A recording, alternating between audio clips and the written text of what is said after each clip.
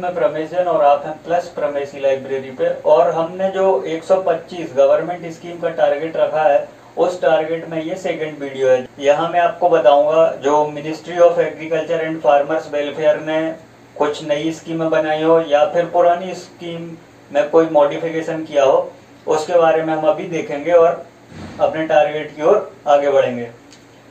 जिन लोगों ने इसके पहले वाला वीडियो नहीं देखा है, वो नीचे डिस्क्रिप्शन में लिंक दी गई होगी। उस लिंक पे क्लिक करके पुराना वाला लेक्चर ज़रूर देखें अदरवाइज़ टारगेट में एक वीडियो उनका छूट जाएगा और कुछ गवर्नमेंट स्कीम उनके यहाँ से निकल जाएँगी। तो अभी हम ministry of agriculture and farmers welfare में जो पहली स्कीम पढ़ने वाले हैं वो है प्रधानमंत्री फ़सल बीमा योजना। सो so, ये स्कीम 2016 की है बेसिकली और अभी हम इसको 2020 में क्यों पढ़ पढ़ रहे हैं? ये क्यों महत्वपूर्ण हो जाती है? ये इसलिए इम्पोर्टेंट है क्योंकि इसमें अभी रिसेंटली कुछ चेंजेस किए गए हैं। तो इसमें क्या चेंजेस हुए हैं कि जो central subsidy under P M F B Y यानी प्रधानमंत्री फ़सल बीमा योजना के अंदर जो सब्सिडी दी जाती थी, और R W B C I S मतलब restructured weathering based crop insurance scheme तो ये दो स्कीम के अंदर जो भी सब्सिडी दी जाती थी, किस चीज़ पे? प्रीमियम पे। ये पूरी स्कीम समझाने के पहले आपको एक छोटा सा फंडा समझना होगा। फ़सल बीमा योजना मतलब किसी भी फ़सल का इंश्योरेंस करवा रही है गवर्नमेंट जिसको इंश्योरेंस यानी बीमा। तो जैसे हम जब बीमा करते हैं अपना तो हमें क्या करना होता है? कुछ किस्तें भरनी पड़ती है प्रीमियम भरना पड़ता है। उसके बाद वो बीमा अप्लीकेबल होता है। लेकिन जब भी किसान अपनी फ़सल का बीमा करवाता है तो बीमा कंपनी तो ज़्यादा पैसा लेती है, लेकिन उस किसान को बहुत छोटी सी रकम देनी पड़ती है लाइक टू परसेंट और थ्री परसेंट और फाइव परसेंट ऑफ़ प्रीमियम तो बाकी का पैसा कौन देता है? बाकी का पैसा देती है गवर्नमेंट कौन सी गवर्नमेंट देती है? स्टेट गवर्नमेंट देती है या सेंट्रल गवर्नमेंट देती है? दोनों गवर्नमेंट आपस में मिलके बाकी का प्रीमियम देती है और दो या तीन परसेंट प्रीमियम किसको देना पड़ता है? किसान को. सो so, अभी आप समझ सकते हैं किसान के लिए ये स्कीम बेनिफिशियल क्यों है? क्योंकि प्रीमियम भरने वाला कौन है? प्रीमियम भरने वाली है गवर्नमेंट आपने एक या दो तीन परसेंट जो भी आपने प्रीमियम भरा, वो निगलेजेबल है। और अगर फ़सल का नुकसान हो जाता है तो उसका पैसा किसको मिलता है? किसान को। इसलिए ये स्कीम काफ़ी फ़ेमस रही और सक्सेसफुल होने का इसका कारण भी यही है। बट रिसेंटली इसमें क्या चेंज कर दिया? रिसेंटली इसमें ये चेंज कर दिया कि जो प्रीमियम रेट था, किसका? सेंट्रल गवर्नमेंट का। उन्होंने इसको लिमिटेड कर दिया। मतलब फिक्स कर दिया या रिड्यूस कर लिया, कहाँ तक? 30 परसेंट अनइरीगेटेड एरियाज़ और क्रॉप्स मतलब वो फ़सलें जिनके लिए बहुत ज़्यादा इरिगेशन की ज़रूरत नहीं होती है। उनके लिए गवर्नमेंट ने क्या बोला है कि हम मैक्सिमम 30 परसेंट प्रीमियम की किस्त देंगे और 25 परसेंट मैक्सिमम किस्त को देंगे जो इरिगेटेड एरियाज़ या क्रॉप्स हैं। उन जगहों के लिए या उन फ़सलों के लिए हम मैक्सिमम 25 परसेंट देंगे। हम मतलब सेंट्रल गवर्नमेंट यहाँ अभी स्टेट की कोई बात नहीं आई है, क्योंकि ये चेंजेस जो भी किए हैं, वो किसने किए हैं? सेंट्रल गवर्नमेंट ने। तो प्रीमियम किस, किसने अपना कम किया? सेंट्रल गवर्नमेंट ने खुद का। और यहाँ दूसरी बात जो सामने निकल के आती है कि वो सभी ज़िले, वो सभी डिस्ट्रिक्ट जहाँ 50 प्रतिशत से ज़्यादा, यानी वहाँ की जो 50 परसेंट से ज़्यादा ज़मीन है, वो इरिगेटेड एरिया है। तो उसको इरिगेटेड एरिया में कंसीडर किया जाएगा। लाइक like, ये जो बात आती है ना कि इरिगेटेड एरिया के लिए गवर्नमेंट कितना पैसा पे करेगी और अनइरिगेटेड एरिया के लिए गवर्नमेंट कितना पैसा पे करेगी। तो ये डिसाइड कैसे होगा कि कौन सा एरिया इरिगेटेड है और कौन सा एरिया अन अनइरिगेटेड है। तो जिस भी ज़िले में 50 प्रतिशत से ज़्यादा ज़मीन इरिगेटेड होगी, वहाँ उस ज़िले को इरिगेटेड एरिया घोषित कर दिया जाएगा या मान लिया जाएगा। और फिर उस ज़िले के किसानों के जो भी फ़सल बीमा योजना के अंतर्गत बीमा होंगे, उनकी प्रीमियम की किस्त 25 परसेंट सेंट्रल गवर्नमेंट भरेगी। अभी चीज़ें थोड़ी क्लियर हो रही होंगी। इसमें दूसरी चीज़ और है, एक फ्लेक्सिबिलिटी दी गई है स्टेट्स को या यूनियन टेरिटरीज को कि अगर वो चाहे तो किसी एक या एक से ज़्यादा जो रिस्क होते हैं उसके ऊपर कवर दे सकती है। रिस्क कवर देने का मतलब कि फ़सल उगने से पहले और फ़सल उगने के बाद लाइक किसी की फ़सल उग चुकी है और उसके बाद उसके खेत में आग लग जाए या सपोज़ बाढ़ आ जाए या फिर खड़ी फ़सल है और पानी की बारिश हो जाए तो ऐसे करके किसी भी तरीके से यदि उसकी फ़सल का नुकसान होता है तो गवर्नमेंट कौन सी गवर्नमेंट स्टेट गवर्नमेंट उसमें उनको और कुछ राहत भी प्रोवाइड कर सकती है। ये प्री हार्वेस्ट भी है और पोस्ट हार्वेस्ट भी है। और इसके अलावा पोस्ट हार्वेस्ट लॉसेस भी काफ़ी सारे होते हैं किसानों के। उसके ऊपर भी स्टेट या फिर यूनियन टेरिटरी चाहे तो इनको एडिशनल कुछ रिस्क कवर प्रोवाइड कर सकती है। बट गवर्नमेंट क्या करेगी? सेंट्रल गवर्नमेंट क्या करेगी? वो अन अनइरीगेटेड के लिए 30 परसेंट और इरीगेटेड के लिए 25 परसेंट से ऊपर नहीं बढ़ेगी। अब स्टेट को जो करना है स्टेट करे। इसके अलावा जो अगली बात कही गई है वो उसमें सिर्फ़ ये बताया गया है कि जो भी लॉस कैलकुलेट हो रहे हैं वो लॉस कैसे कैलकुलेट होंगे? तो लॉस कैलकुलेट करने की सिंपल सी टू स्टेप मेथड के बारे में इन्होंने बताया है ठीक है जिसको कि डेविएशन मैट्रिक्स बोलते हैं। अभी ये जो शब्द आया है ना डेविएशन मैट्रिक्स ये मैथमेटिक्स का एक प्यो, ये प्योरली मैथमेटिक्स का एक टर्म है। जहाँ आप मैट्रिक्स का डेविएशन निकालते हो मीन निकालते हो वेरिएशन निकालते हो तो ये आ, आपको मेथड समझना होगा तो फिर आपने या तो मैथमेटिक्स बैकग्राउंड का होना पड़ेगा या फिर आपको जाके किसी मैथ मैथ्स के टीचर से मिलना पड़ेगा। ये डेविएशन मैट्रिक्स क्या होता है? मैं आपको एक सिंपल सी चीज़ बता देता हूँ। यही एग्ज़ाम में पूछेगा अगर इससे रिलेटेड कुछ भी पूछा तो। डेविएशन निकालना है किसी मैट्रिक्स का यानी आप अप्रोक्स उसका एवरेज निकालने की कोशिश करते हो। ठीक है?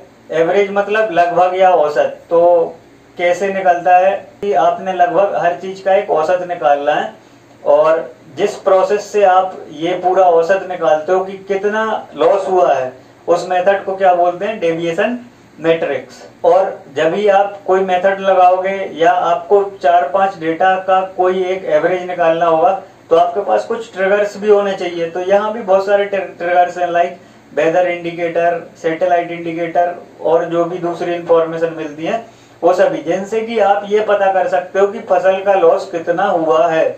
और इसके अलावा, जैसे प्रधानमंत्री फ़सल बीमा योजना है तो क्या इसके अंदर हर किसान को बीमा लेना अनिवार्य है?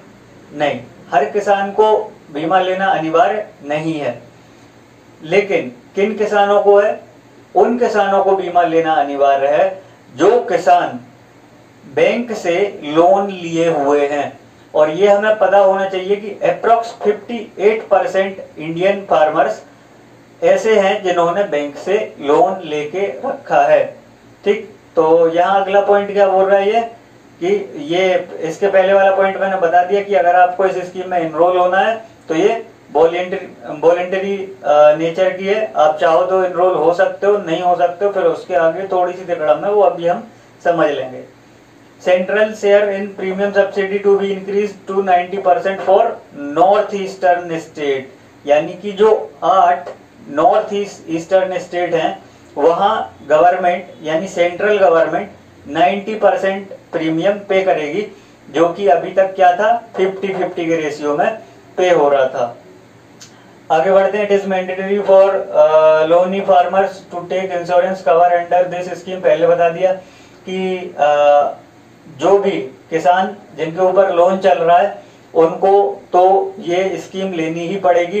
क्योंकि आप सोचो आपने लोन ले रखा है और अगर आपकी फ़सल बर्बाद हो जाती है तो फिर वो लोन कैसे चुकाओगे? लोन नहीं चुकाओगे बैंक में क्या बढ़ेगा? एनपीए बढ़ेगा और फिर बैंक तबाह हो जाएगा एक दिन। तो इसलिए अगर आपने लोन लिया है तो आपको फ़सल का बीमा लेना ही पड़ेगा, क्योंकि फ़सल नष्ट होगी तो आप नहीं चुकाओगे। तो उस सिचुएशन में जो बीमा की रकम आएगी, उससे आपका अमाउंट सेटल कर लिया जाएगा। और ये बात भी मैंने बता दी कि 58 परसेंट जो टोटल फार्मर्स हैं, उन्होंने लोन लेके रखा है बैंकों से, ठीक? और यहाँ एक, ये महाराष्ट्र की थोड़ी सी तारीफ़ की गई है कि महाराष्ट्र ऐसा भारत का पहला प्रदेश निकल के आया है जिसने अपने जो लैंड रिकॉर्ड है, उनको प्रधानमंत्री फ़सल बीमा योजना के वेब पोर्टल से जोड़ दिया है। तो अभी इनके जो लैंड रिकॉर्ड थे, वो किसके साथ जुड़ गए हैं? प्रधानमंत्री फ़सल बीमा योजना के पोर्टल के साथ। और अगर एग्ज़ाम में पूछता है कि ऐसा कौन सा स्टेट है या सबसे पहला स्टेट कौन सा है, जिसने अपने लैंड रिकॉर्ड यानी ज़मीन से संबंधित सभी रिकॉर्ड्स फ़सल बीमा योजना के पोर्टल से जोड़े हैं तो वो उसका सही आंसर क्या होता है? महाराष्ट्र। ठीक it was formulated in line with one nation one scheme theme तो इन्होंने क्या किया कि वन नेशन वन स्कीम ये थीम दी एक भारत की, एक योजना. और इसके अंदर इन्होंने दो स्कीम को रिप्लेस कर दिया. मतलब दो पहले से कोई स्कीम चल रही थी, उनको मिला के एक बना दिया. कौन कौन सी दो स्कीमों को? National agriculture insurance scheme NAIS और modified national agriculture agricultural insurance scheme M N A I S इन दो स्कीम को मिला के इन्होंने क्या कर दिया? एक स्कीम बनाई थी 2016 में, प्रधानमंत्री फ़सल बीमा योजना। ये इंफॉर्मेशन है, ये आपको रटनी पड़ेगी। फिर इसके बाद इस स्कीम का कवरेज क्या है? कवरेज अप्रोक्स सभी कुछ है इसमें, है ना? तो जो मेन मेन क्रॉप्स होती हैं, वो सारा कुछ है इसमें। तो ये कवरेज आपको टोटली रटना है, ये जो भी इसमें एस्पेक्ट दिए गए हैं। और इसके अलावा प्रीमियम क्या है? ये प्रीमियम क्या मतलब किसान कितना प्रीमियम पे करता है? तो ये दो परसेंट पे करता है खरीफ क्रॉप्स के ऊपर 1.5 परसेंट पे करता है प्रीमियम का, रबी क्रॉप्स पर, और 5 परसेंट पे करता है कमर्शियल एंड हॉर्टिकल्चर क्रॉप्स पर। तो ये प्रीमियम कौन पे कर रहा है? किसान। और बाकी का बचा हुआ प्रीमियम कौन पे कर रहा है?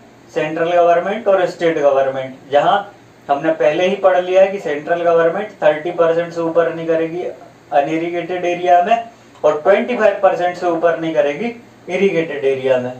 तो अब जो हमारी अगली स्कीम आती है, वो है soil health card, S H C, to ये 2015 की स्कीम है, लेकिन ये अभी 2020 में क्यों चर्चा में है? इसलिए चर्चा में है, क्योंकि इसने दो सालों के अंदर अपना सेकेंड फ़ेज़ पूरा कर लिया है और 11.69 करोड़ सॉयल हेल्थ कार्ड बना दिया है।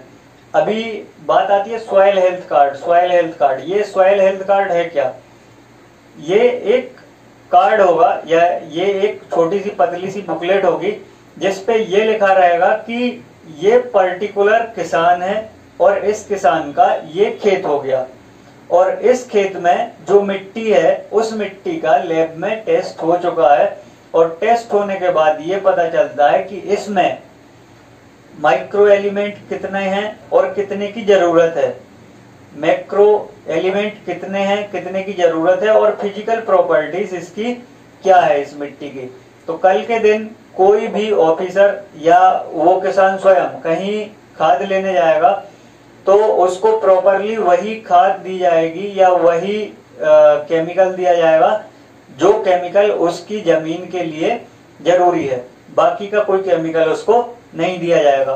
तो इस चीज़ का फ़ायदा क्या निकल के आया? जब भी हमने किसानों को सॉयल हेल्थ कार्ड देना स्टार्ट किया so eight to ten percent chemical fertilisers के यूज़ में कमी आई, जो मान के चलते हैं कि अगर अभी हम पूरे देश में 100 टन केमिकल फर्टिलाइज़र यूज़ कर रहे थे।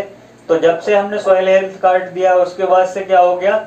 उसमें से 8 से 10 टन की कमी देखने को मिली है। यानी उतना हमने केमिकल फर्टिलाइज़र यूज़ करना कम कर दिया। इसके साथ में जो हमारी प्रोडक्टिविटी थी फ़सलों की, वो प्रोडक्टिविटी में भी इम्प्रूवमेंट हुआ है। कितना? फाइव टू सिक्स परसेंट ये इम्प्रूवमेंट क्यों हुआ है? क्योंकि आप जो हमने हमेशा बात सुनते हैं अति किसी भी चीज़ की अच्छी नहीं होती। तो जब भी आपके खेत को किसी एक पर्टिकुलर एलिमेंट की ज़रूरत ही नहीं है और आप उसमें भरे जा रहे हो तो ले दे के आपकी फर्टिलिटी ही कम होती है। तो जैसे ही मिट्टी में वो एलिमेंट नहीं डाला गया जिसकी उसे ज़रूरत नहीं थी, मिट्टी ने अपनी प्रोडक्टिविटी बढ़ा दी और फ़सलों की भी प्रोडक्टिविटी बढ़ गई। तो सॉइल हेल्थ कार्ड के बारे में अगली लाइन लिखिए कि ये क्या कैरी करेगा। एक इकलौते खेत के लिए कितने न्यूट्रिएंट्स की और फर्टिलाइज़र की ज़रूरत है? जिसको कि मैं एलिमेंट बोल रहा था। Soil health card is use to assess the current status of soil health and when use over time to determine changes in soil health that are affected by land management तो जब भी किसान अपनी ज़मीन का मैनेजमेंट कर रहा होता है, अब लैंड मैनेजमेंट क्या होता है?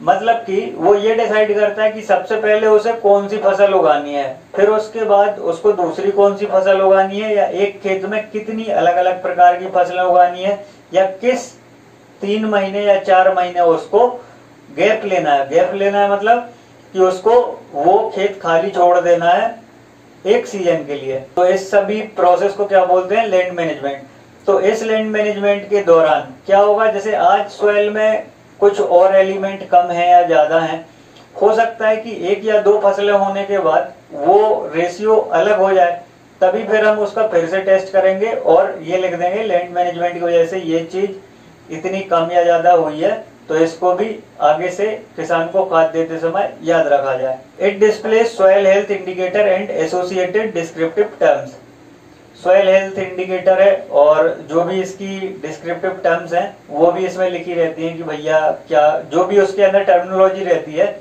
उसका भी ज्ञान थोड़ा सा दे दिया जाता है।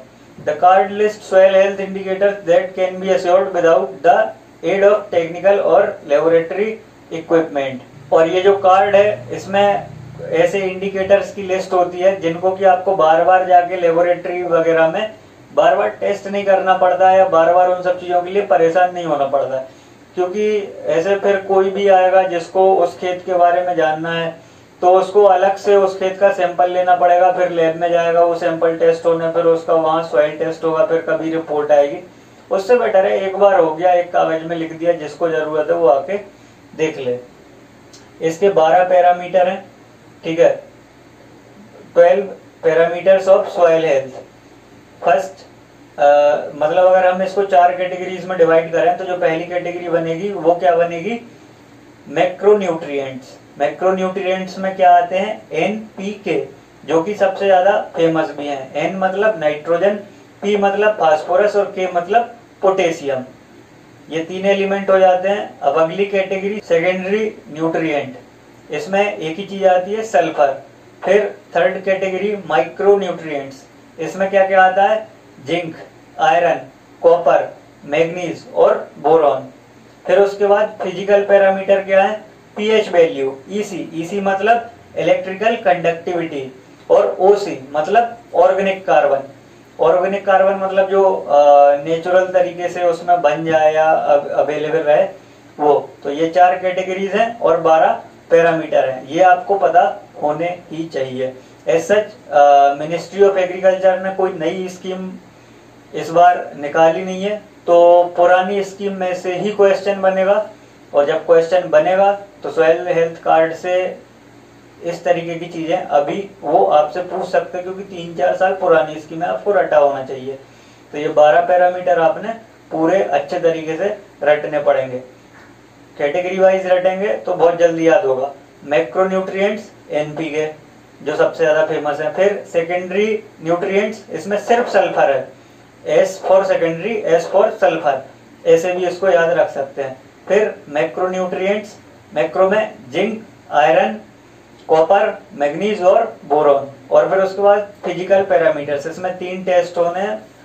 पीएच वैल्यू का टेस्ट यानी कि पोटेंशियल ऑफ़ हाइड्रोजन और दूसरा ईसी इलेक्ट्रिकल कंडक्टिविटी और तीसरा ऑर्गेनिक कार्बन यानी हमें तीन चीज़ों पे किस पे ध्यान देना है? हाइड्रोजन, कार्बन और इलेक्ट्रिसिटी कंडक्टिविटी अगली स्कीम की तरफ़ आते हैं। अगली स्कीम हमारी कहती है प्रधानमंत्री किसान सम्मान निधि, पीएम किसान।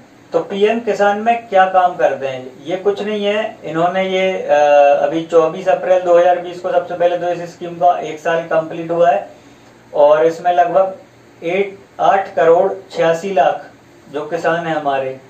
उन्होंने इसके अंदर लाभ प्राप्त किया है, ठीक है? इसमें क्या होता है? इनकम सपोर्ट दिया जाता है किसको? किसानों को और उनके परिवारों को।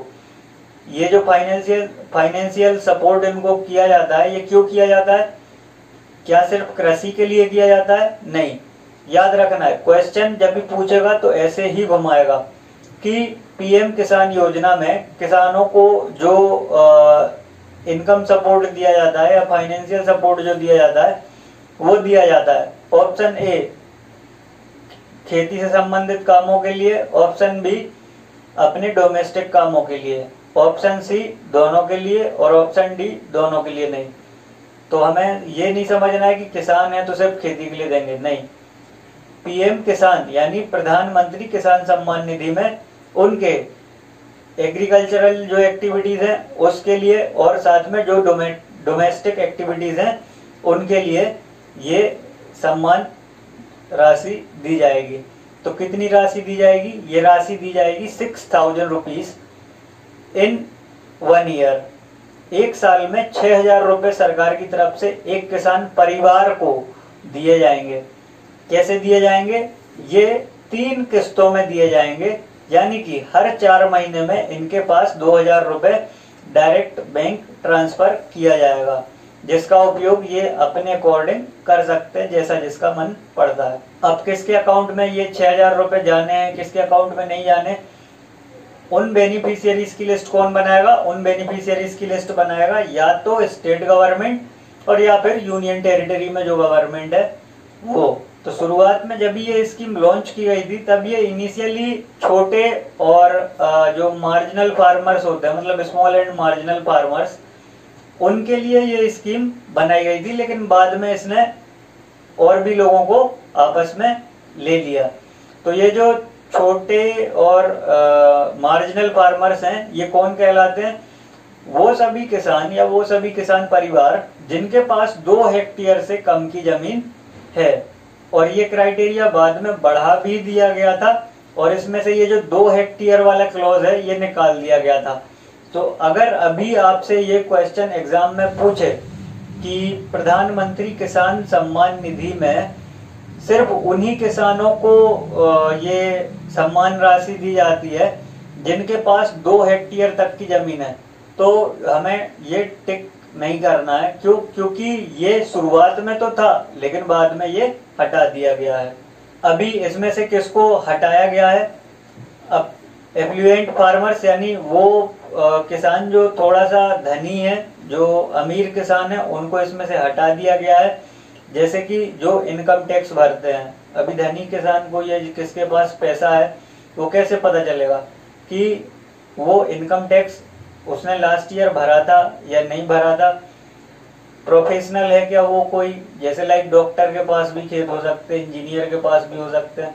तो वो कोई प्रोफेशनल है क्या? Doctor engineer lawyer chartered accountant अगर है तो उसको ये छह हज़ार नहीं मिलेगा, ठीक है? और क्या कोई ऐसा पेंशनर तो नहीं है जिसको दस हज़ार रुपए की पेंशन मिल रही हो और तभी भी वो किसान है और उसके बाद ये छह हज़ार ले ले तो वो नहीं होगा। अगर आपको ऑलरेडी दस हज़ार रुपए की पेंशन कहीं से भी मिल रही है तो फिर आप प्रधानमंत्री किसान सम्मान निधि में पार्टिसिपेट नहीं कर सकते हो। लेकिन इसमें एक्सक्लूड किसको किया गया है पेंशन वाले क्लॉज से? एमटीएस क्लास फोर्थ और ग्रुप डी के जो भी कर्मचारी हैं, उन लोगों को इस चीज़ से एक्सक्लूड किया गया है। और जो भी इंस्टीट्यूशनल लैंड होल्डर है, उनको ये निधि में से कोई सम्मान राशि नहीं मिलेगी। ठीक है? अभी बात आती है, जब हम ये स्कीम पढ़ रहे हैं, कि what is a small and marginal land holder family अभी आप ये कैसे डिसाइड करोगे कि कोई भी किसान है, वो छोटा है या फिर मार्जिनल यानी कि सीमांत है, ये कैसे डिसाइड करोगे? तो ऐसा किसान परिवार जिसमें हस्बैंड हो वाइफ हो, और कम से कम एक माइनर हो। माइनर मतलब एक ऐसा बच्चा जिसकी उम्र 18 साल तक की हो लगभग दो हेक्टेयर तक की ज़मीन पर खेती कर रहा हो और ये उसका जो रिकॉर्ड है वो किसके पास मेंटेन हो? स्टेट गवर्नमेंट के पास। तभी उसको स्मॉल या मार्जिनल लैंड होल्डर फैमिली माना जाएगा। फिर उसके बाद सिमिलर प्रोग्राम बाय स्टेट्स हैं। आप वीडियो पॉज करके इसको देख सकते हो कि कौन कौन से प्रोग्राम है और अपने नोटबुक में इजीली लिख सकते हो। मैं पढ़ूँगा, उस चीज़ का कोई सेंस है नहीं। फिर आगे बढ़ते हैं अगली स्कीम की तरफ़। प्रधानमंत्री किसान मान धन योजना P M K M Y इसमें क्या है? इसमें जो ओल्ड एज किसान है, ठीक, उनके लिए पेंशन देने की स्कीम है ये बेसिकली तो इस पेंशन स्कीम का क्या नेचर है? एक तो ये वॉलेंटरी है और दूसरा कॉन्ट्रीब्यूटरी है। मतलब अगर आप चाहो तो इस स्कीम में पार्टिसिपेट कर सकते हो। और दूसरी चीज़, अगर पार्टिसिपेट करते हो तो आपको कुछ ना कुछ कंट्रीब्यूट करना होगा। कुछ ना कुछ मतलब आपको कुछ पैसा कंट्रीब्यूट करना होगा। आपको कितना पैसा पे करना होगा इसमें? आपको पचपन रुपए से लेके दो सौ रुपए तक का कोई भी अमाउंट पे करना होगा अपनी एज के अकॉर्डिंग यानी कि इसमें क्या है? 18 साल से लेके 40 साल तक के जो लोग हैं या जो किसान हैं 18 साल से लेके 40 तक 40 साल तक के किसान, उनको हर महीने पचपन रुपए से लेके दो सौ रुपए तक। उनकी एज के अकॉर्डिंग ये किस्त डिसाइड होगी। इसमें किसान ये किस्त खुद डिसाइड नहीं करेगा। तो उनकी एज के अकॉर्डिंग ये किस्त डिसाइड होगी और उनको भरना पड़ेगा हर महीने। और जब भी वो साठ साल का हो जाएगा वो किसान, तभी क्या होगा, उसको तीन हज़ार रुपए पर मंथ मिलना स्टार्ट हो जाएगा। अच्छा इसमें एक चीज़ और है कि अगर 60 साल के बाद किसान जीवित नहीं रहता है। तब क्या होगा? अगर किसान 60 साल के बाद जीवित नहीं रहता है तो उसका आधा पैसा किसको मिलेगा? उसकी वाइफ को। अगर उसकी वाइफ भी नहीं है तो फिर उसके पैसे किसको मिलेंगे? उसके नॉमिनी को। अभी एक और बात आती है कि अगर सपोज़ कोई किसान है, उसने अपना तो पेंशन कर पेंशन वाले स्कीम में अपना खुलवा लिया प्रधानमंत्री किसान मान धन योजना में। लेकिन वो चाहता है कि उसकी वाइफ भी आ, सेम एक बीमा करवाए। तो क्या वो करवा सकती है? हाँ वो करवा सकती है। और इनकेस अगर कभी पति और पत्नी दोनों किसान नहीं रह और इनकेस जो हमारे किसान पति और पत्नी है वो दोनों ही नहीं रहते हैं साठ साल की उम्र तक तो फिर क्या होगा? ये पैसा ऑटोमेटिकली सरकारी खजाने में जमा होता रहेगा। सरकारी खजाना मतलब पेंशन फंड में ये अगेन जमा हो जाएगा। लाइफ इंश्योरेंस कॉरपोरेशन यानी एल जो है, वो इस सभी पेंशन वाले जो भी पूरा फंड है, इसके लिए रिस्पॉन्सिबल है, यानी कि इम्प्लीमेंटिंग एजेंसी कौन है? एलआईसी। जो मोटी मोटी बातें थी, वो मैंने आपको बता दी। बाकी आप ये एक बार वीडियो पॉज करके ये पढ़ें ज़रूर। जब तक आप खुद से नहीं पढ़ोगे, तब तक आपके दिमाग में चीज़ें नहीं आएँगे। आपको पॉज करके पढ़ना पड़ेगा और अपने नोटबुक में लिखना पड़ेगा, तभी जाके आपके समझ में ये चीज़ें आएँगी। ठीक? अब अगली स्कीम पे आते हैं। पार्टिसिपेटरी गारंटी स्कीम पीजीएस तो ये पीजीएस क्या है? इसमें बहुत ज़्यादा कुछ बड़ी बात नहीं है, ना बहुत बड़ा कोई रॉकेट साइंस है। सिंपल सी चीज़ है कि हमें ऑर्गेनिक फ़ार्मिंग की तरफ़ आना है। जो हमारे प्रोडक्ट होंगे, वो क्या होने चाहिए? ऑर्गेनिक प्रोडक्ट होने चाहिए। अभी कौन सा प्रोडक्ट ऑर्गेनिक है या नहीं है, इसकी पहचान कौन करेगा, कैसे होगी? तो इसकी पहचान करने के लिए एक सर्टिफिकेट दिया जाएगा। अब वो या तो सर्टिफिकेट हो सकता है जिसपे स्टेटमेंट लिखा रहेगा, और दूसरा, या तो आप उनको क्या दे देते हो लोगो टाइप का कुछ एक दे देते हो, जिसको कि वो ये लोगो अपने प्रोडक्ट के ऊपर लगाते हैं, और लोगों को पता चलते रहता है कि ये प्रोडक्ट ऑर्गेनिक है या नहीं है। नीचे जो भी ये लाइन लिखी है international federation of organic agriculture movement ये आपने खुद से ही पढ़नी है, क्योंकि ये ऐसा बहुत ज़्यादा इंपॉर्टेंट नहीं है, बस थोड़ा सा फर्म का नाम याद रख लेना है, और ये याद रख लेना है कि इनकी फंक्शनिंग क्या है। अगली स्कीम की तरफ़ आते हैं scheme scheme to support organic farming in the country ये स्कीम्स टू सपोर्ट मतलब यहाँ सिर्फ़ हम एक स्कीम की बात नहीं करेंगे, ढेर सारी स्कीम एक साथ रख रख के बात करेंगे। किस चीज़ के लिए? ऑर्गेनिक फ़ार्मिंग बढ़ाने के लिए कहा? देश में, हम, हमें अपने देश में ऑर्गेनिक फ़ार्मिंग बढ़ानी है तो क्या क्या करना चाहिए? कौन सी स्कीम है? तो सबसे पहली चीज़ यहाँ समझने वाली। ईयर 2015 से जो हमारी गवर्नमेंट है वो ऑर्गेनिक फ़ार्मिंग को बढ़ावा दे रही थी। कैसे? दो स्कीमें यहाँ चल रही थी। The first one is mission organic value chain development for north eastern region north eastern region यानी जो आठ स्टेट हैं नॉर्थ ईस्ट में, उनके लिए ये स्कीम थी। और दूसरा, परंपरागत कृषि विकास योजना। इसके बारे में अभी हम आगे डिटेल में भी पढ़ेंगे तो इन दोनों स्कीम को इन दोनों स्कीम के थ्रू गवर्नमेंट ऑर्गेनिक फ़ार्मिंग को बढ़ावा दे रही है। और यहाँ जो अगली बात बताई जा रही है, वो क्या बताई जा रही है कि ये जो ऑर्गेनिक फ़ार्मिंग है, इसके सपोर्ट में और भी स्कीमें मतलब और भी ऐसी स्कीम्स हैं जिनके चलते ऑर्गेनिक फ़ार्मिंग को बढ़ावा मिल रहा है, जैसे कि राष्ट्रीय कृषि विकास योजना और इसके अलावा mission for integrated development of horticulture. ये भी एक स्कीम है जिसके कारण इसको फ़ायदा मिल रहा है।